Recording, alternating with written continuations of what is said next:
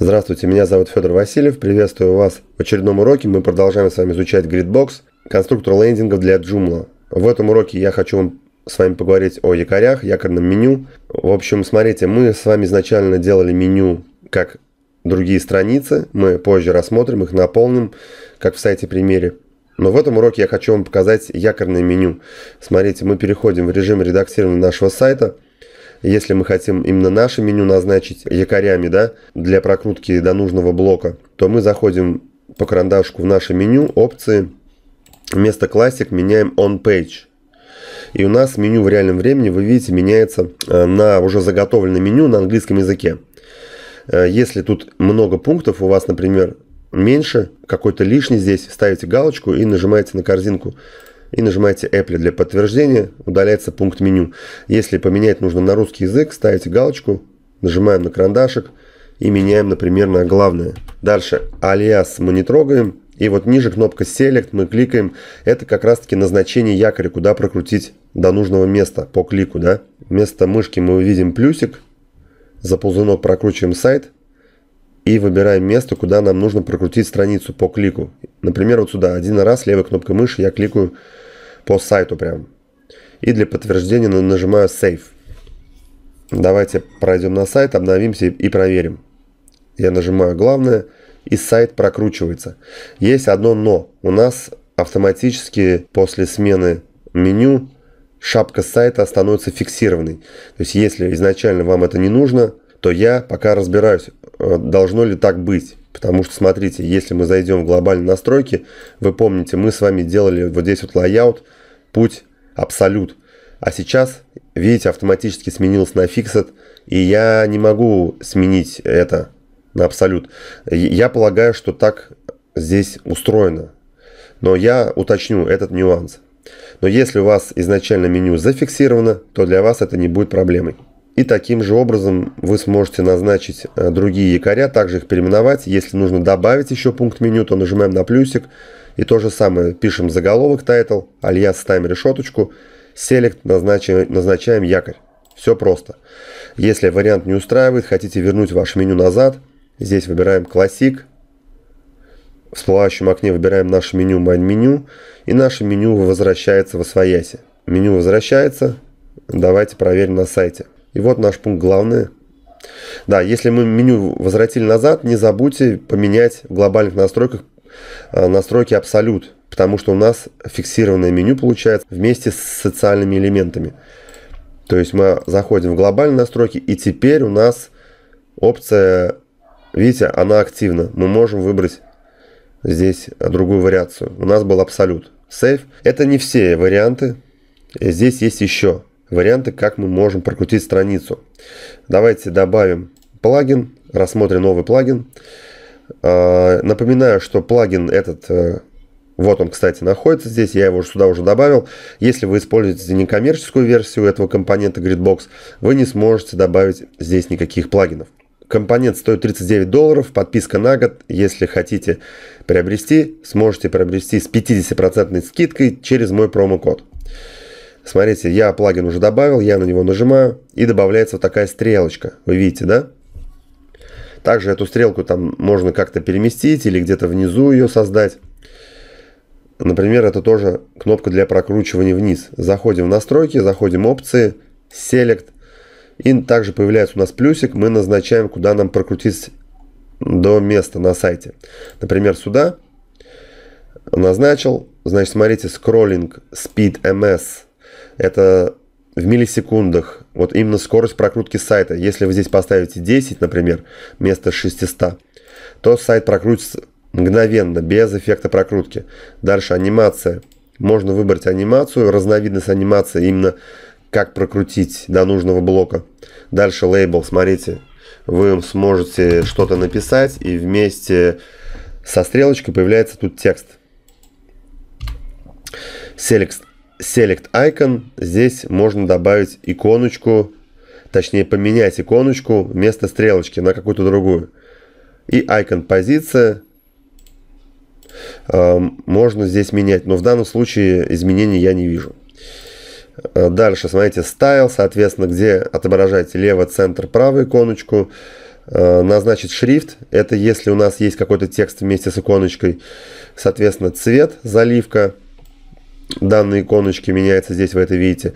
И color белый, это внутри элемент, видите? Вот он белый, вот он черный. Соответственно, размер самой иконочки. Ну, вот здесь вот это эффекты не работают, потому что у нас тут нет текста. Дальше border. Это рамочка размер рамочки, цвет рамочки. Вот я делаю белый, да? Толщина рамочки. Hover, то есть при наведении на эту иконочку, вы видите, она у нас какая-то оранжевая. То есть color белый, это цвет элемента в середине. Background это заливка кнопочки. Теперь она фиолетовая. Ну и border это рамка. Оставим также белый при наведении. Дальше паддинг. Это отступы внутренние. Вы видите, что происходит с кнопочкой. Ее просто кошмарит. А, дальше margin это, ну вы уже знаете, это внешний отступ. И еще я хочу рассмотреть а, кнопку, одну плагин, это кнопка наверх. То есть смотрите, когда человек прокручивает сайт самый низ, практически сейчас на каждом шаблоне есть такая кнопочка внизу, на нее кликаем и сайт прокручивается наверх. Это очень удобно. Особенно если сайт длинный. Здесь есть такой плагин в Gridbox. Для этого мы прокручиваем в режиме редактирования наш сайт самый низ. Мы нажимаем на наш контейнер плюс. И нам нужно добавить этот плагин а, в нашу э, библиотеку плагинов. Я нажимаю Upload Plugins. Кнопка называется Scroll to Top. То есть прокрутить наверх.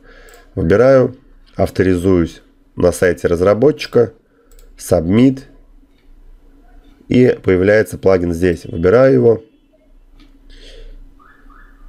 Вот эта кнопочка у нас появилась сбоку, и давайте ее настроим. Нажимаю на карандаш, опции. Вот это, это у нас смещение. Сейчас посмотрим, за что она отвечает. Scrolling speed, ну это то же самое, это скорость прокрутки страницы.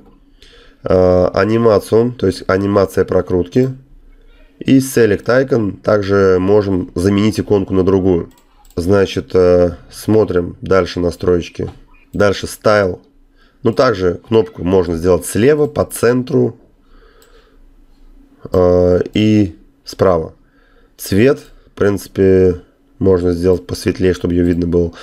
Дальше color это цвет самой иконки на нашей подложке. Она белая, в принципе, оставляем ее такой. Далее font size в пикселях, смотрите, это увеличивается кнопочка. Дальше border, это рамка, радиус, то есть скругленные углы у рамки, цвет рамки и толщина рамки вот здесь. Э, я это пропускаю, hover. То же самое при наведении на кнопку, в какой меняется ей цвет бэкграунд заливка кнопки, да, color, вот этот цвет белый, это у нас при наведении сама иконочка, стрелочка, какой ей быть.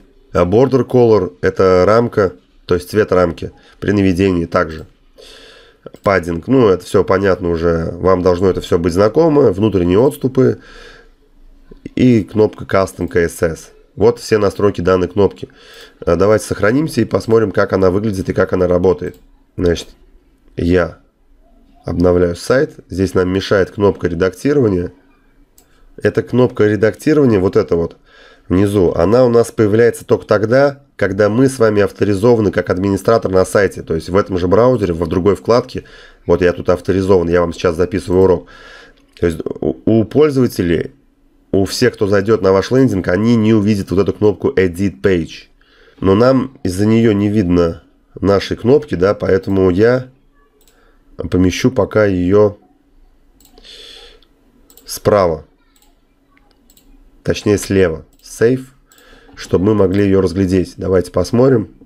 Обновляю страницу. Ее сначала не видно.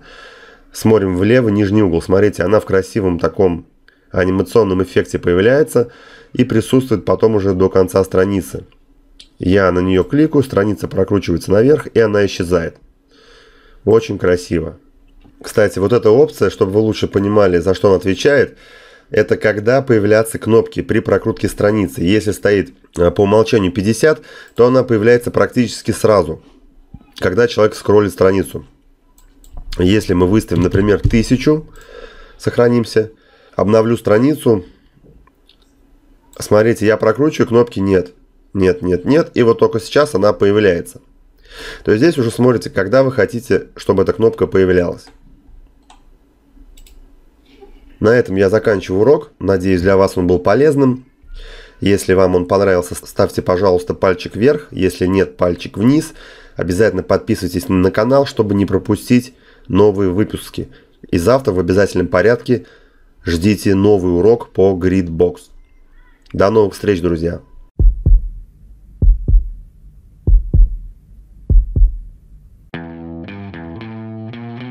Если вы уже стерли пальцы поисках хорошего качественного хостинга для вашего лендинга на Adobe Muse или сайта на Joomla, неважно, то сейчас я вас хочу познакомить с замечательным хостингом под названием Hostik. Сам пользуюсь данным хостингом уже много месяцев и очень доволен. Главное примечание хостинга – тестовый период 30 дней. 30 дней вы сможете пользоваться хостингом абсолютно бесплатно. Второй, очень важный момент – возврат денег в течение 45 дней, если вас не устроят услуги хостинга. Готовый КМС – 3 года на рынке. Молодой хостинг – это очень важно. Онлайн-поддержка на высоте. Перейдя на хостик, вы сможете увидеть в правом нижнем углу вот такой вот прямоугольник. Это онлайн-чат.